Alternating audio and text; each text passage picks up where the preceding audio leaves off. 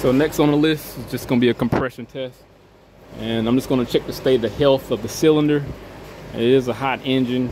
It's not to say anything will be different when it's cold. Also, uh, this vehicle is direct injection. So being that it's direct injection, it's a possibility that it could have uh, carbon on the valves. So that is one thing that when I looked inside of the bore or in, in the cylinder, should have noted how those valves look. And it is getting oil, being that the direct injection isn't going to be pre-valve and it's directly in the combustion chamber, nothing's going to clean that oil off of the valves here. So let's just see what the compression looked like.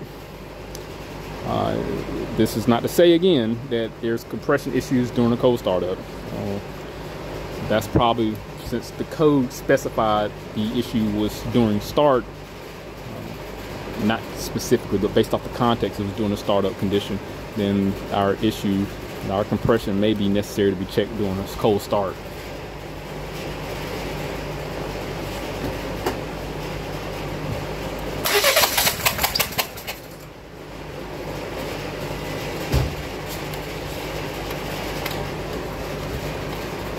So we're making 120 psi, which is, you know, it's a turbo car. It's a 9 to 1 compression. Let's see what, let's do one more just to be on the safe side.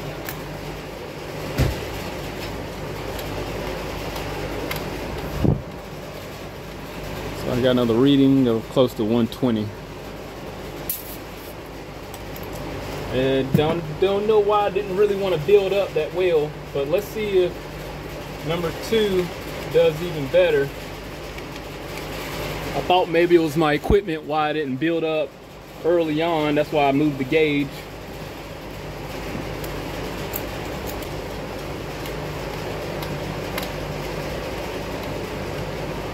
This one made about 115 or so. Let me see if I can try it again.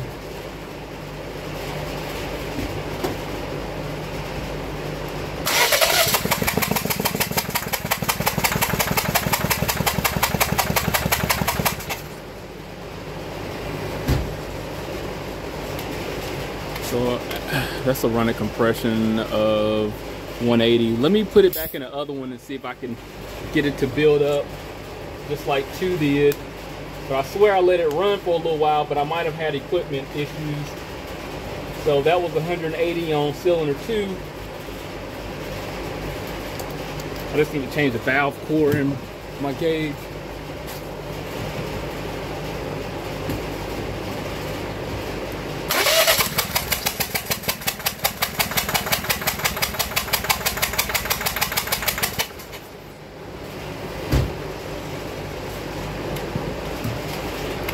Was slow to rise, but it eventually got to 180.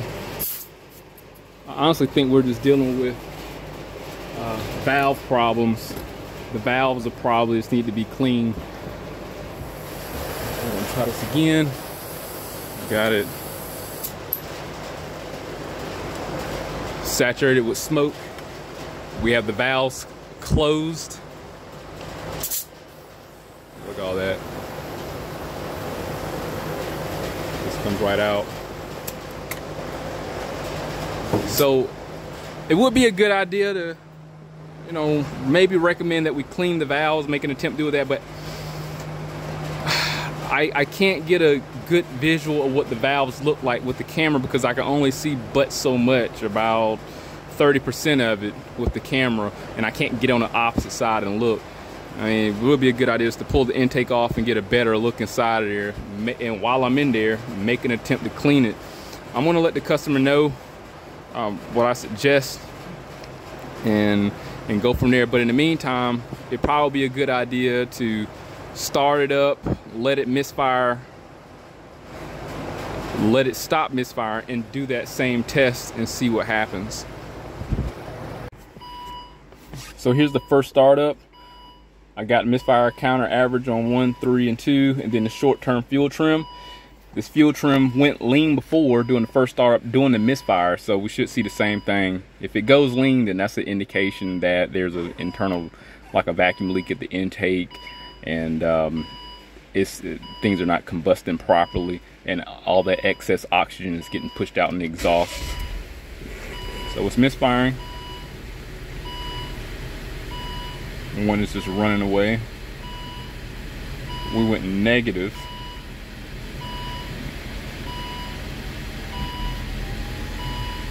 So now when it's just jumping around from positive to negative.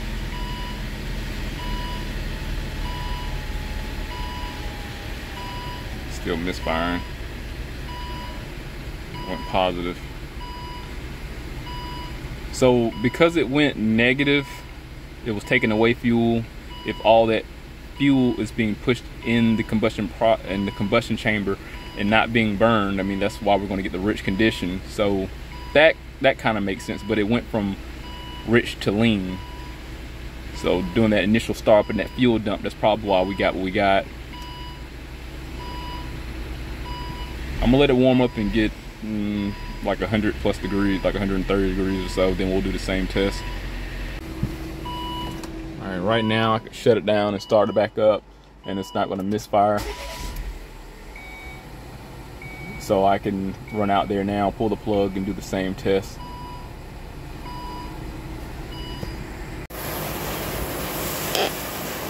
All right, same test.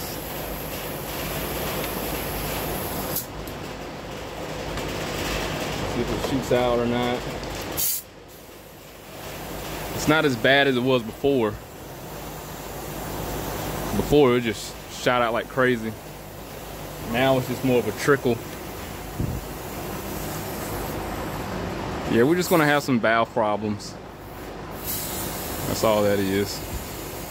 So let me show you what I what the valves look like. They have small granules built up on the valve itself and you can't help but to think there's probably going to be some on the seat it's a kind of a long shot, but I got an idea. I don't know how well it's gonna work. But if, let me see what the rim is. You know, if I, this goes, eh, no, it doesn't quite sit in the head, but I imagine, what if, if I leave this valve open, pour diesel into the chamber uh-oh. What the heck, what happened? Oh, my camera is got oil on the side, on the front, the front face. If I pour diesel down there, and then I put like an agitator inside with the diesel in there, like it'll bubble up and get around the valves. I mean, could it clean it? Get the valve as far as they'll go because the only thing it's going to do is just drip down right back in the head and the bore. I mean, diesel's not going to harm anything. My biggest fear is it actually getting into the crankcase. But I'd imagine, because if I have an agitator down there, like a hose, going straight down the cylinder, bubbling, and I'll just hook it up to my air compressor, lower the air to probably about like 5 or 10 psi, and just let it keep bubbling. I'd imagine it'll keep it pushed up to where it wouldn't it's less susceptible to going down. Diesel isn't going to harm anything if a little bit get inside the oil, so I'm not going to worry about that so much. I want to know if it's going to clean that valve or not. So I think it's worth like a passive attempt to see what will happen. And again, I'm going to get the valve as far as I can go down and pour diesel in the cylinder, put a hose down there, connect the male into my, or some sort of adapter to my compressor hose and just turn the pressure low and just let it agitate it. So let me see if I can get that erected and we'll see if this experiment will work. I'll let the car cool down for a little bit. I'm gonna start constructing something, but this is the piston top. I'm gonna get a visual of that. That's what the dome looks like. I can't guarantee that's going to get clean, but the valve is what's important. I have the intake valves at, uh, I want to say bottom dead center. They're open as full as they're going to open. We're going to try to work on getting this carbon off of here and logically, I'm I'm thinking, you know, the agitator with the bubbles, just like a washing machine, or you know, it'll. We'll see. Maybe the grit will work itself loose and start beating up against itself and get the rest of it loose. But that diesel, I'm using diesel here, so this is this is just going to be my cleaning agent. I'm to construct something within the next 10 minutes. I got a small pump I could use like for a fish tank or something, or I'll do my air hose thing I was thinking about. So I'm hoping that this will not uh, go through the pistons, rings, and the oil rings and get go down into the combustion chamber. So I think we'll be fine. I think we'll be logically, because if we put diesel in the engine and let it run like we're doing a flush, it wouldn't bypass those. So I'm assuming because the rings are good, it shouldn't. We shouldn't have that problem. Let me construct something. I found an old aerator I got laying around the house because I had the fish that I used to have. I tried tried it out, um, but it still works, and they came with a lot of hose, and it's working right now. It's very quiet, so I'm gonna try this route first. See how well it agitates. If it gets on the valves good enough, then we'll use this. If not, then I'll probably need to apply more air pressure. So I'm hoping that I can fill it all the way up in the chamber and just submerge those valves. So let's let's do this.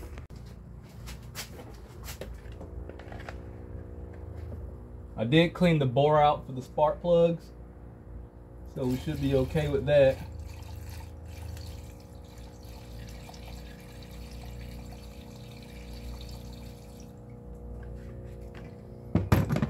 See how much got in there.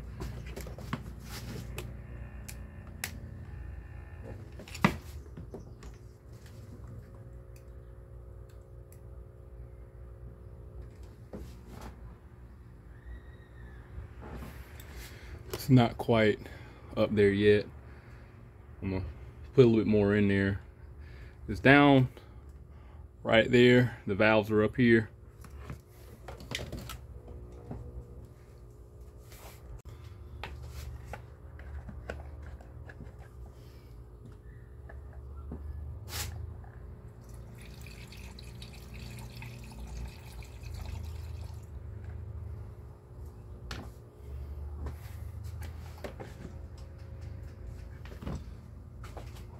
Now it's above the spark plug hole. I'm gonna see if I can get the camera down there. Maybe we can see if the valves are submerged or not.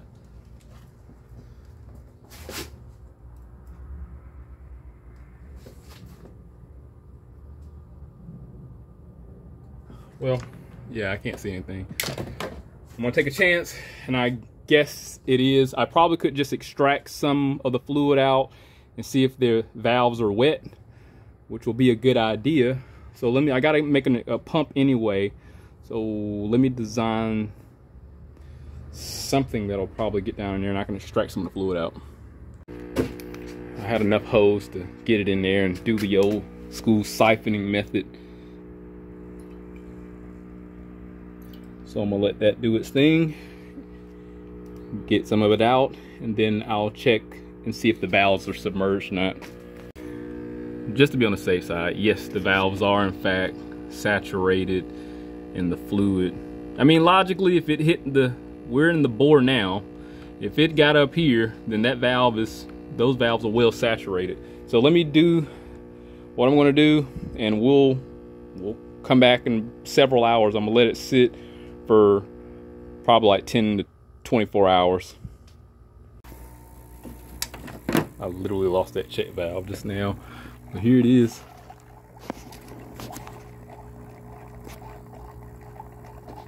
That's all it's going to do. I'd imagine things are happening inside there for the better.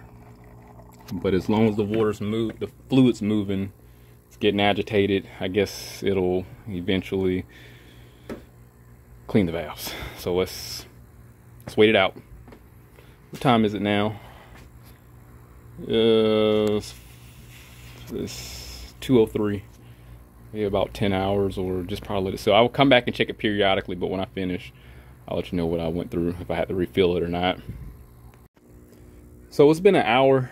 Uh, i want to say it's about yeah it's been a been a little i think i think i did this at 202 or something like that. So it's been an hour. This is what the fluid looks like. I siphoned whatever this mason jar quantity, whatever it holds. So I siphoned that much out and it's definitely looking a little darker. Let me show you the difference here. So here's the photo. You can see it's getting cleaner around the chamber. Let's go, let me turn this off. So you can see it's getting cleaner around the chamber up here, unlike before. So I'd imagine some of the carbon on the valves are also getting cleaner. The diesel is getting in the valve on the valve stem. I didn't get an aerial view, but this looks better. I have to find an older view if I have it, but we're gonna do one now. I want to change up the mixture and put some brake cleaner in there because I, I, prefer that as a solvent more than anything because I know for a fact that works. So I'm going to put a percentage of brake cleaner in here and see if that makes a difference. And I'm going to let it sit for a couple more hours, but at the moment it is making a difference. I didn't get all of the diesel out uh, what that mason jar is willing to contain because there's some still sitting the bottom I don't want to change the viscosity because I don't want it to fall all inside of the oil. So I'm going to add fresh diesel in there. Keep that around so we can compare it. Then I'll add a percentage of brake cleaner. Alright, so this is the new solution. This is more 50-50. Going to look a little separate, but as long as it agitates, and uh, but the the brake cleaner is settled more so at the top, which is which is not a big deal. Uh, it's, it's going to agitate anyway. So I'm going to pour that back in there, let it do its thing, and we'll come back and take a note. All right, it's been 20 hours. It's the next day. It's about 9 in the morning.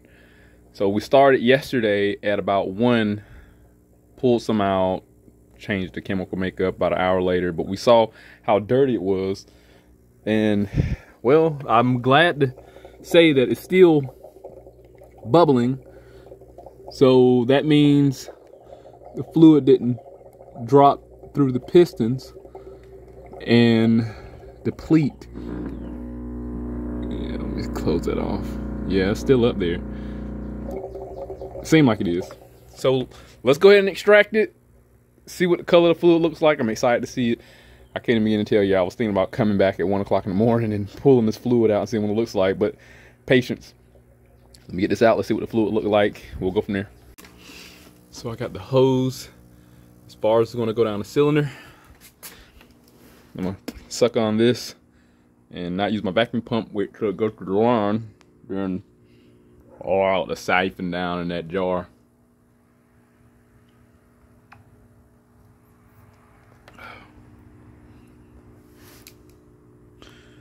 Here we go. So it's not as dirty as it was originally. Because it was black at first. Hopefully. Hopefully I got it down there pretty good. Uh-oh. Let's let it do its thing. So here's the before. And then here's the after.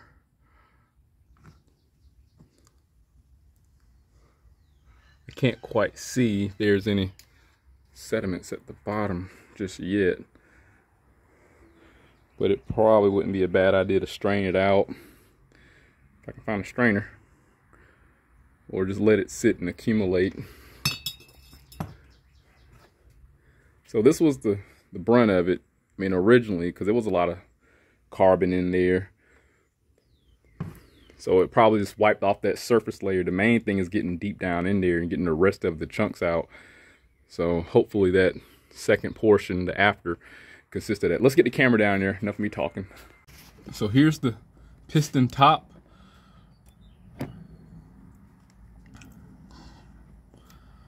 Can't say I notice much of a difference there. um, but it's still wet and it still has the fluid penetrating in the sludge there. So I don't, we'll, we'll come back to that. The main thing is the top portion. What do our valves look like? Oh, oh wow, that is amazing. Hold on, did I see that right? Let me, let me reserve. That's a big difference. Look at that. Look at the valve, the carbon the carbon is like nearly gone on that valve there. Let me, let me get, hold on one second. I need to clean the camera off to get a better visual of the valve here. But check that out. Look at all that down through there. That's a lot cleaner in the chamber.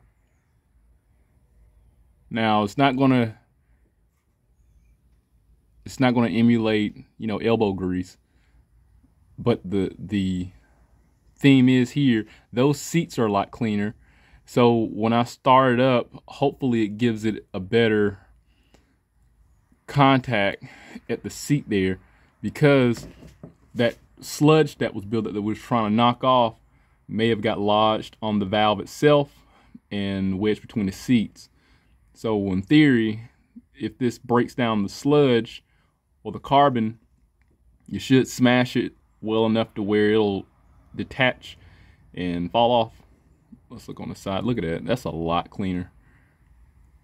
That made a big difference. This is the chamber of the cylinder head. Before it didn't look like that. Let's see if we can get the valves for the exhaust valves. See how those look. I'm pretty sure those got resolved also. I expected to smoke when I started up. So I'm not going to act like I don't. What I'm going to do is just start up with the spark plug out, get as much crap as I can out because there's still some in the piston and let it shoot out the top because I don't want to hydro lock anything. Look at all that. And the chamber, the valve stem. I think, the again, the biggest thing is the seat.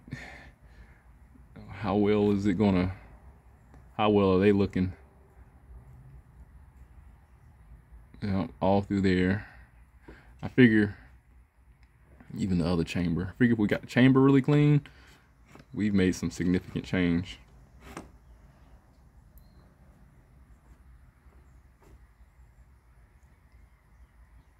I think I got a little oil on the face of the camera now. It looks better though. Let's start it up without the spark plug in there and see what happens.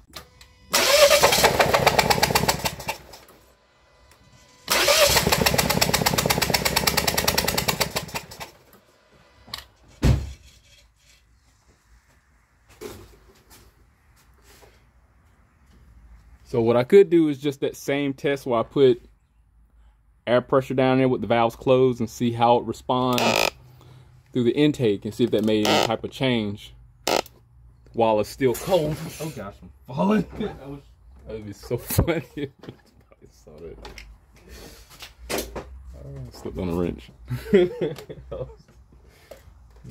so I could just do the same test. Uh, let's let's do that while it's cold because I don't want to wait several hours to go through this again. And we can see if it shoots out or not because before it just shot out.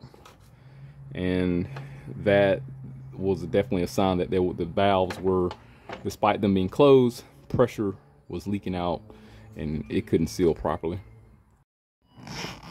Here's a better view with all the valves closed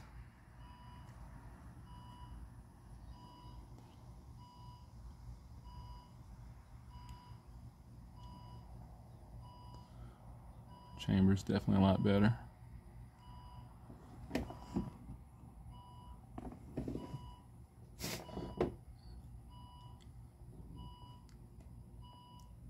Definitely see it's a lot cleaner.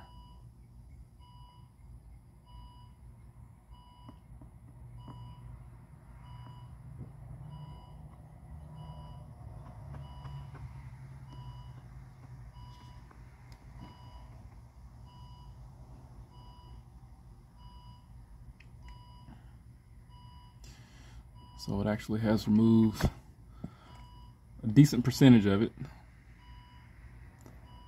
A decent percentage decent percentage of carbon.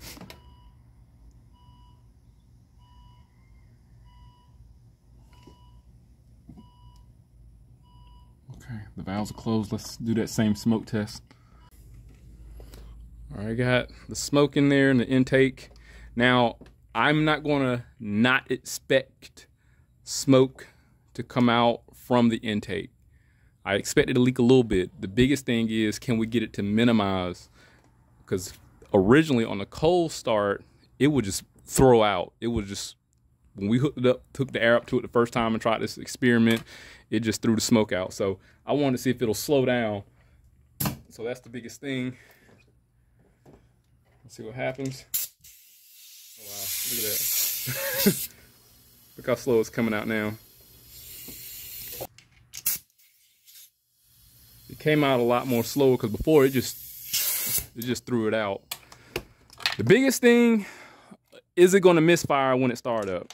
So we know I wound up cleaning the combustion chamber. Did it get all the stuff off the valve? I'm gonna put the old plug in there because I do have a new plug. Um, put the old spark plug in there, get it to run, drive it, let it, uh, let it break that carbon loose, digest it, and I'm gonna come back and do a cold startup. So let's get this in here. As a, and as a matter of fact, we're gonna capture this first startup, assuming that we got all the diesel out of it, which I doubt, and we'll see how it responds to. So we're just going to do the neighboring cylinder and watch short term. Now I expected a misfire, so I'm not going to act like I'm not. Oh well. Uh, what are we doing? It's running, but let's see how far it goes. It's taking away fuel because it's rich. But the thing is, it's not reaching, it's not going to 169 as rapidly as it was.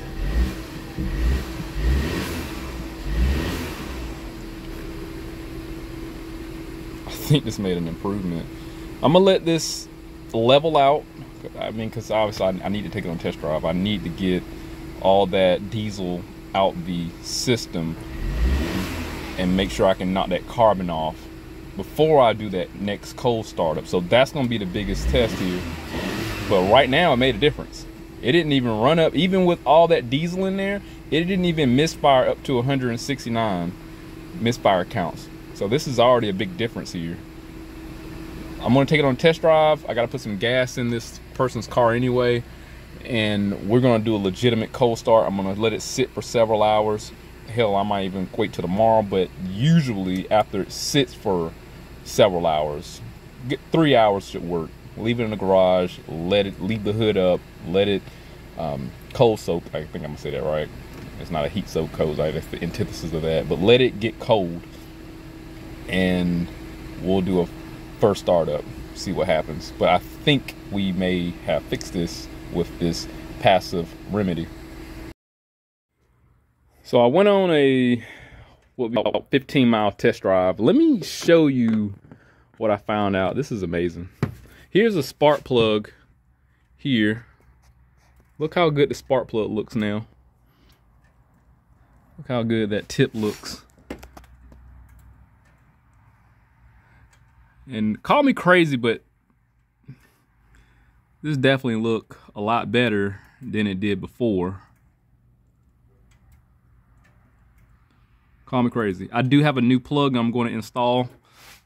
That is the old plug that was in there. But let me show you another thing. Check out the bore. Look how clean that is. Look at that, the top of the valves. It took all that carbon, knocked all that stuff off. Look at the top of the valves.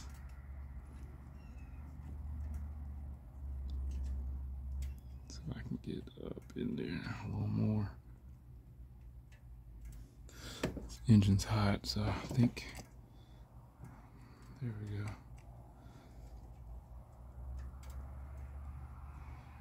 Look at that.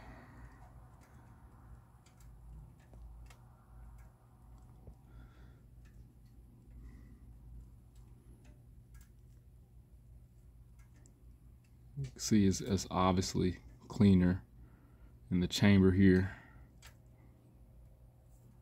I'm going to show you the piston top shortly. It's definitely a lot cleaner. Let's look at the piston top.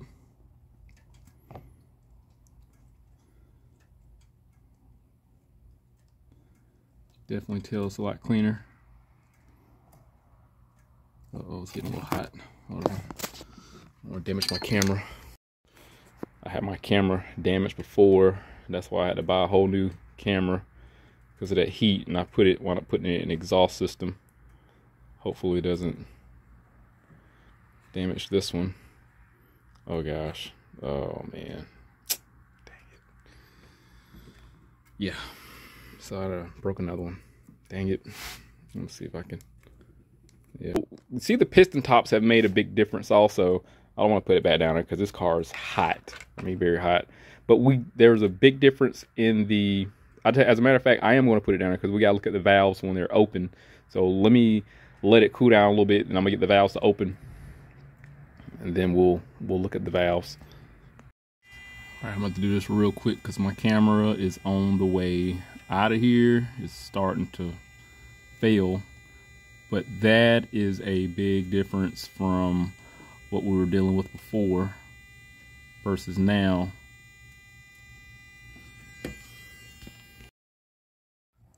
All right, bear with me here. My camera is literally on its way out. But look around here. You can see that it's way cleaner. The valve seats are a lot better. Let me see if I can turn this around. There's our exhaust valve on the left. Right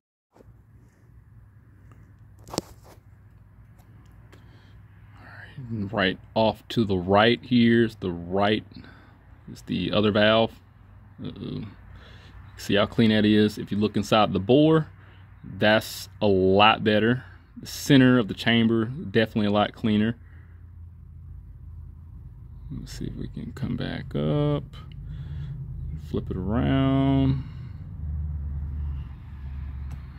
Oh, no. I'm sorry man. This this camera I got to buy another one.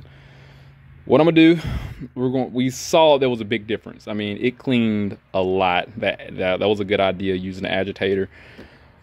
Um, I'm not sure if this car has any additional problems, uh, but I mean, when I was driving it, it would misfire on three and four. It'll periodically have little misses, but that's fine. It had cars when they have a um, check engine light, they have to meet a certain criteria of a misfire or a crank angular distortion before it generate a hard code. So what I'm gonna do, we're gonna put the new plug in here. We're gonna see what happens doing a cold start. I got things I gotta do. So I'm gonna let this sit for a while. We'll do a legitimate cold start and see how it responds from there and conclude, this video because right now we look at it, the camera's failing.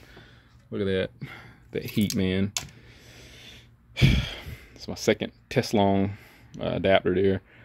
But anyway, we're gonna we're gonna we're gonna see how it responds in the cold startup and see if this actually worked. Even though we got the chamber completely clean, what is it gonna do when the cold start? Because it has misfires while driving, but the biggest thing is when it triggered that code originally, it manifested while stationary. Let's see if that gets fixed.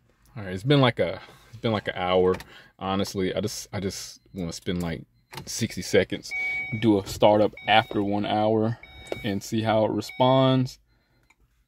And let's see.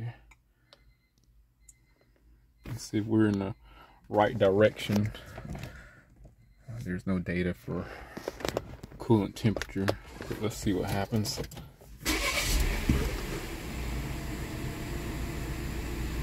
okay. One did not even misfire. It's crazy. That's cool. That's not crazy, but that's great. Let me look at the coolant temperature. So the coolant temperature is 161 degrees after sitting about an hour. So we're in we're in good shape. I'm gonna give it I'm gonna give it five hours. Let it get down to ambient air temperature. That's gonna be official test here. If it's at the ambient air temperature, which is about 80, 90 degrees outside, and it starts up with no misfire, this issue is fixed. All right, it's been about four hours. The car should have reached normal ambient air temperature. So what I'm gonna do, we're gonna look at the coolant temp. So let's boost air, coolant temperature. Where's it at?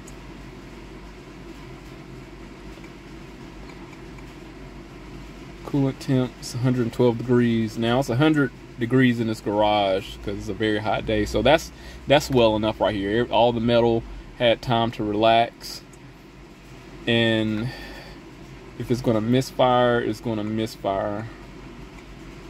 So I'm not going to wait till it get uh, 90 degrees because it's set for like four hours to get to this point. All right, we're just gonna look at misfire information. So one was the problem child.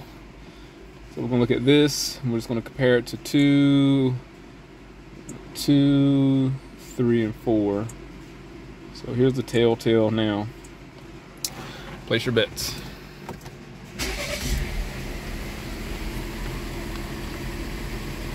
Uh,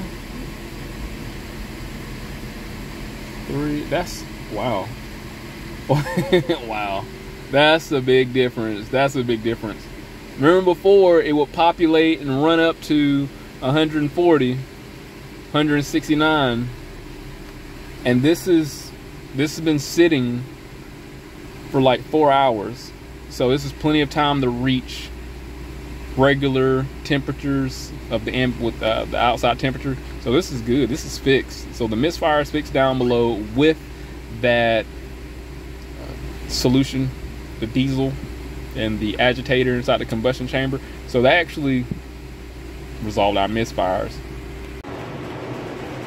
Pretty excited that this actually worked, but being that I saw how clean those valves were, once I put the agitator in there and sat for about 10 hours and it made a notable difference, that was a, definitely a telltale sign we're going in the right direction. So it's hard to believe that those valves caused that problem. I don't I'm, I do not even know what specific grit got in there that would cause all that. I don't want to know, but I, I do know it's notably cleaner. Diesel did its did its job and this misfire issue during startup is 100% resolved. And mind you, when they bought the car from the manu- what's the manufacturer from the dealership or wherever they bought it from, they tried to resolve it by changing the coil and the plug too. That wasn't the problem. The problem was definitely a valve issue.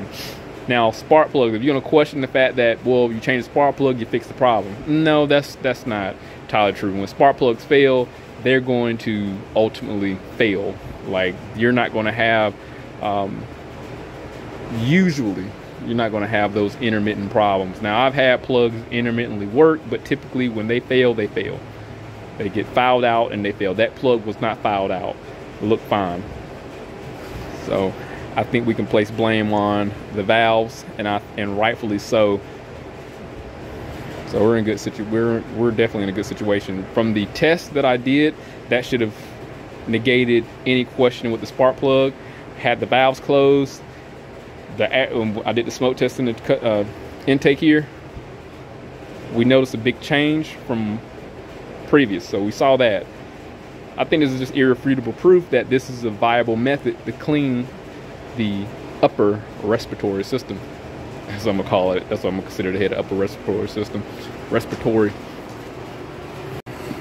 So in regards to seafoam, the reason why I didn't use seafoam was because a while ago I wound up doing some back testing on some sludge I had from a Toyota Camry. It was an old video. And I took four different jars, put seafoam, transmission fluid, diesel, brake cleaner, and I think a mixture of all that other stuff. It was a mess. And the only thing that really worked was brake cleaner. It dissolved that sludge to nothing. And diesel. Diesel worked, but it didn't dissolve it like brake cleaner did. But the diesel actually took that sludge off. And hence, when we have a port injection system, look at how clean those valves are. I mean, if gas wasn't as thick, as thin, sorry, I probably could have put it in there and sloshed it around and it probably served the same purpose. Glass is a, gas is a cleaning agent also. But the diesel is thicker, it lubricates, it served its purpose, and we saw that work today. Well, over the course of a few days. So what I'm gonna do, I'm gonna let my customer know that we got this car fixed and it is resolved. That's the old fluid and uh, is dirty fluid. So I might pour this back in my kerosene heater. I'm gonna let him know we got this issue fixed and uh, charge accordingly. So the good thing is we didn't have to go inside and pull any of these things off worth, worth I'm about, I can't get out right, risk breaking any of this plastic stuff. I was able to put the diesel in the combustion chamber and work on something else. I set it and forget it. And this is what we got. So I'm not saying it's gonna work on all vehicles, but based off the construction and design of this cylinder head, it worked out just fine. Good thing the pistons were fine because it didn't seep down the, seep down into the crankcase. Now a little bit's not gonna hurt anything. But if anything happens, I'll definitely update. Hit that link, subscribe to the channel, stay informed, how to register some work, and I'll see you next one.